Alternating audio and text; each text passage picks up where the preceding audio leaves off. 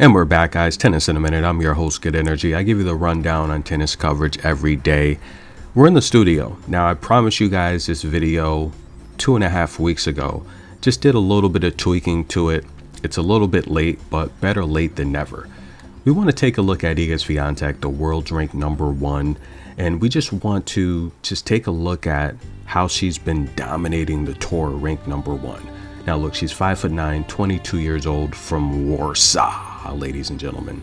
Now, her coach, Tomas, he's literally one of the most innovative coaches out there, right? He's doing all of these different things to kind of keep Iga not only in shape, but I think motivated, right? That's what a good coach does. A good coach inspires their players, their their athletes to be better, to do better, but think outside the box, be innovative. But the hardest part about being a good coach or leader is finding the right people, finding people that want to. That's the challenge. And Iga Swiatek wants to. She wants to be the best. She wants to be number one, which is why she works so hard. And if you're not familiar, ladies and gentlemen, I talked about this a couple weeks ago. Iga Swiatek, she's in a new category. History again, ladies and gentlemen. That's right. She is literally the last player since Serena Williams to win WTA Player of the Year. That's some good company to be in. That's right, she's climbing the ladder towards greatness. But wait, there's more. We're going to take a look at Iga Swiatek's reign at number one, ladies and gentlemen. Now, we all know the reign at number one started right around Doha, right? When Ashleigh Barty announced she was going to retire, and by default, Iga Swiatek became the world's number one. But listen, she won that tournament in Doha where she took out Anett Kontaveit, gave her a bagel, right? And that was literally the start of the bagel run, right? With the exception of Harriet Dart at the Australian Open, where she gave Harriet Dart a bagel in the first round. But she did make it to the semifinals in the Australian Open, where she lost to Danielle Collins, who would eventually lose to Ashleigh Barty in the championship. But Indian Wells, now this is where I joke about Iga Swiatek making the sunshine double look like a routine day at the beach. Remember I made that punchline up? That's hilarious. Come on, go watch the videos, go like them. She won the Indian Wells by taking out Sakkari 6-4, 6-1, and then she won Miami by taking out Naomi Osaka 6-4, 6 love, another bagel. Now she had two bagels in Miami, Viktorija Golubic in the first round. And the first set with Osaka in the championship match was competitive 6-4, but the second set, huge drop off from Osaka a bagel. Now we're going to see if Osaka comes back with that mental eye of the tiger, that mental toughness that she had when she won all those slams because her last year and a half on tour was just full of problems and she wasn't focused. So if she comes back, I think immediately Osaka will be back inside the top 10 by the end of the year because she's that good. She's, she's going to make it to quarterfinal and semifinal appearances and all the top events. That's all you need to do to hit the top 10. But this video is about Iga Swiatek. Listen, guys, 80 weeks at number one, cumulative, right? And we all know 75 consecutive. But this video, we are taking a look at some of the championships she won en route to that. Now, we all know if you follow the channel, I gave you literally all of the futures to take Iga Swiatek. And this was coming out of Ashleigh Barty's shadow, where a lot of people weren't picking Iga to win these tournaments. I did this early on. And again, Iga didn't have a lot of fans coming to the channel or just in general at the matches following her. But once, I mean, and she was still a Roland Garros champion, right? So I really noticed the fans really started to come and pay attention right around the win streak when we hit the French Open and she took out Coco and then she headed into Wimbledon and she uh, broke Venus Williams' record by beating Jana Fett, giving her a bagel, that's when I noticed it's like everyone just clicked online and they're like, yeah, we're on board now. But she won Miami, right? Then she won Stuttgart, Aryna Sabalenka, where Aryna looked rude in the trophy ceremony, very rude. Then she won Rome. Then she won the French Open. And then Rome, she beat Ons Jabeur 6-2, 6-2. Handed out another bagel to Gabriela Elena Ruse in the first round. In the quarterfinals, a bagel to Bianca Andreescu. The French Open, a bagel to Lesia Tsurenko, Alison Riske in the second round, and a bagel to Qinwen Zheng in the round of 16. And of course, she beat Coco in the championship 6 1 6 3. Wimbledon, uh, grass, she's working on grass, so we're not going to take too. We're not going to pay too much attention to Wimbledon. We know that. And then the U.S. Open. This was the, and I say it all the time if you want to be a big star in tennis, you have to win the U.S. Open. This is when Iga stardom just hit another level. A bagel, Jasmine Paolini in the first round, a bagel, Jule Niemeier in the round of 16. And we all know she took out Pegula, Sabalenka, and Ons Jabeur to win that. Then she went to Ostrava. She didn't win that. She lost to Barbora Krejcikova in the championship, but good effort. She won San Diego. She took out Donna Vekic. She gave Coco a bagel in the quarterfinal. She gave Donna Vekic a bagel in the, in the in the third set. A lot of controversy surrounding that. We're not going to talk about it. That was the year of 22. Iga Swiatek just dominating the tour, right? We all know she passed Venus Williams consecutive win streak and she headed into 23 a little bit injured, right? We all know that, but let's take a look at again some of the tournaments she won as number one. She won Doha, right? That was the first title of, of this year. A bagel to Kudermetova in the semifinal, a bagel to Danielle Collins, a bagel to Pegula in the championship match. She lost Dubai. I told you guys Krejcikova will win Dubai as a 5 to 1 underdog, but she came back, struggled at the end in Wells. She won Stuttgart though right? Took a little bit of a break off over a month. She came back healthy and she literally, Jabeur had to retire with, with the knee injury, the ankle, and she beat Sabalenka. That led to the drama with Sabalenka trying to break the Porsche window, which she promised to her father. That was disgusting, okay? She went to Madrid. Sabalenka got revenge at Madrid. She won that, but not before handing out a bagel to Petra Martic in the quarterfinals right? Iga's Bakery continued to be open. The French Open, she was back at it. We're not we're not going to talk about Rome where Elena Rybakina took her out, but she didn't hand out a bagel to Lesia Tsurenko and Anastasia Pavlyuchenkova.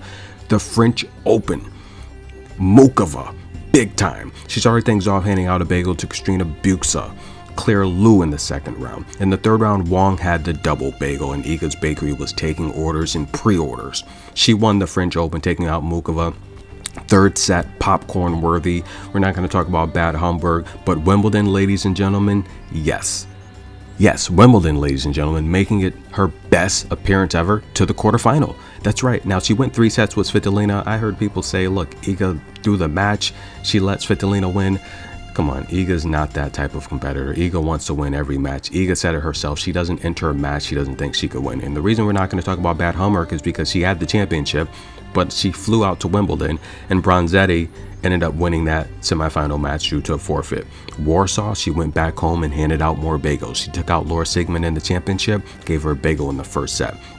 Montreal struggled there. Cincinnati, Coco Gauff took her out. But listen, guys, US Open, she struggled, but she got back on track at Beijing, ladies and gentlemen. That's right. And this is where she headed into Cancun to regain her number one ranking. These are some of the key matches she played along this 80 weeks of reigning at number one. And of course, guys, yes, she lost some here and there, but the reality here is she's in great company. And let's take a look at some of the greats she has now joined with having 75 weeks at the number one spot consecutively and 80 weeks overall cumulative.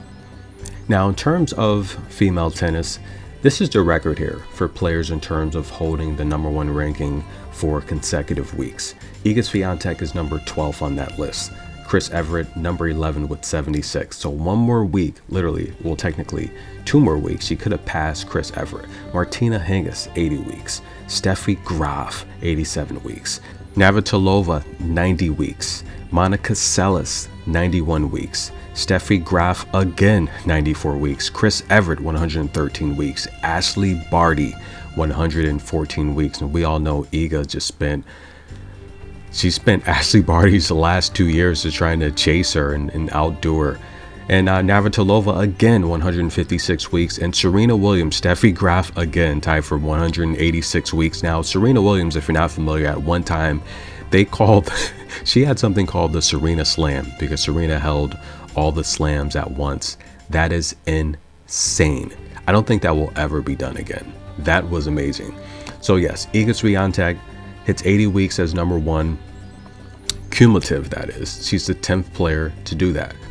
So it's only right that we take a look at the cumulative list, right? These are players that have spent the most weeks at number one. Uh, and of course, this is over the span of numerous seasons. Steffi Graf at number one with 377 weeks. Martina Navratilova, 332. Serena Williams, 319. Chris Evert, 260. Hingis, 209. Seles, 178.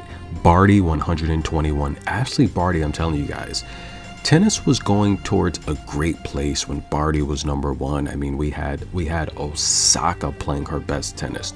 And I mean, look, it was possibly towards the start of Osaka's decline, but we still had Serena kind of hanging on with one foot in, one foot out. And the star power, you had its players like Iga Swiatek coming up, Coco Gauff. That was just a good period for women's tennis.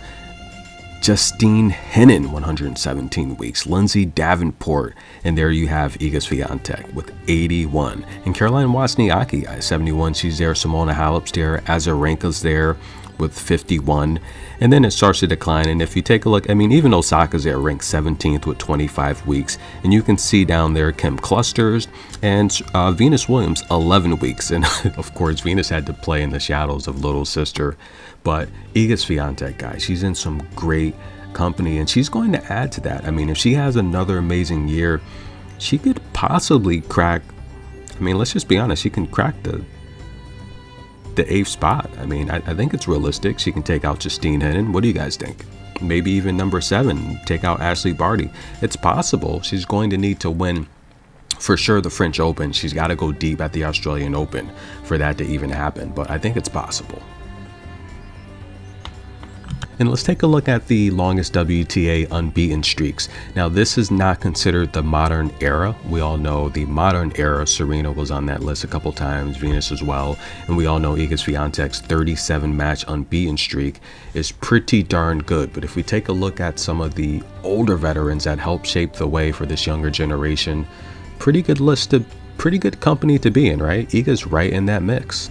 As you can see there, Navratilova, she's on the list four times, uh, 41 consecutive wins in 82.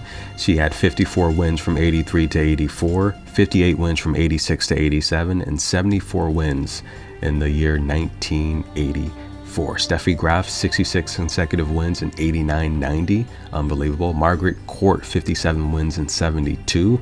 Chris Evert, 55 and 74. Listen, I don't think Chris Evert, and, and again, Chris Evert, 41 wins in 75, 76.